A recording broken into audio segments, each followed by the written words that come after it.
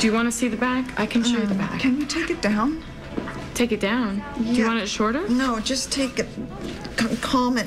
Calm it down. It's too. It's just too fluffy. It's, it's not too fluffy.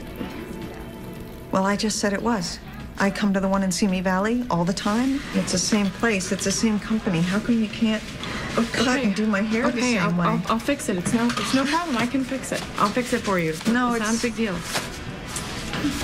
No, it's Hora. It's it's okay. It's all right. I cannot believe that my prestigious career in healthcare has led me to Austin, Texas.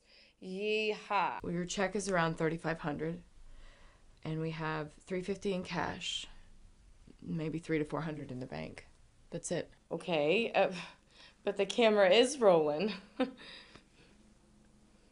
Okay, now it's not. okay. So, what do you want me to say how I really feel? Yeah. About Carrie? He's a total pinhead.